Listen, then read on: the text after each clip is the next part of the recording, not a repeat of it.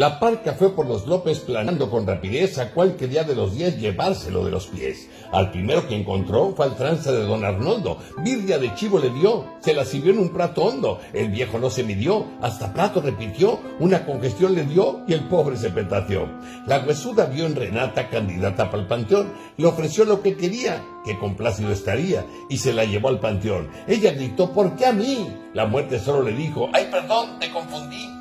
Enseguida vio a la licha, buen material para el panteón, le dio pastillas caducas y se murió de bolón. No me lleves flaca chunda, yo ni enferma estoy, inmunda, ahora soy asintomática, pues te llevo por dramática. La nena llegó apurada del aula en que trabajaba, no te la lleves malvada, la agarraste de bajada. La parca la vio de frente, con sonrisa de campeón, Tú no reclames, suplente, y jálale pa'l panteón. Agarró entonces a Adolfo, y en verdad se sorprendió. Ni yo, no me he bañado desde que el mundo se creó, destilo ese aroma añejo que se carga este soncejo.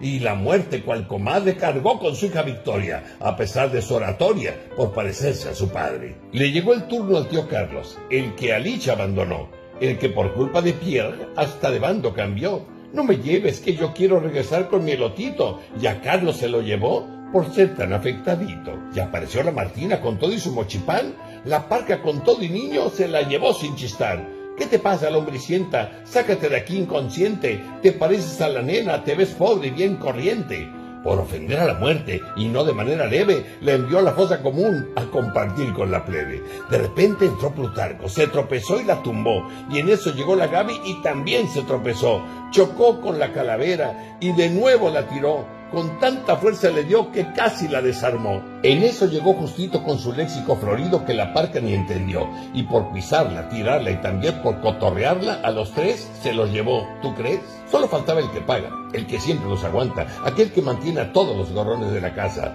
Vamos de forma armoniosa, te libro de los gorrones, para que se queden de anones, te llevaré hasta tu fosa. No me lleves, flaca hermosa, si me voy, ¿quién los mantiene? Los que aquí conmigo viven son mi familia y me explotan, pero son muy divertidos a pesar de que me agotan. Ellos son mi gente, amiga, tal vez tú no lo comprendes.